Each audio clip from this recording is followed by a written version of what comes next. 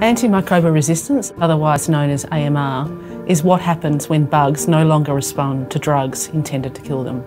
This makes infections difficult to treat with drugs that would have worked in the past.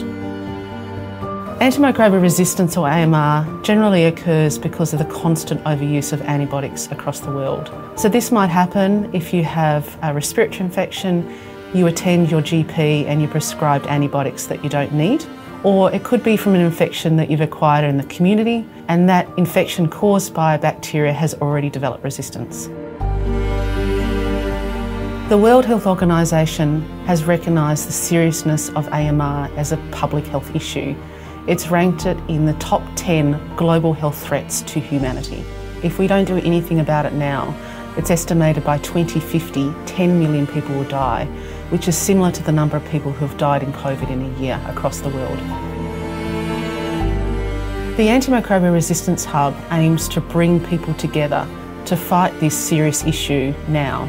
At the moment, Many organisations are working in silos. Industry faces significant barriers to development of appropriate tools and technology.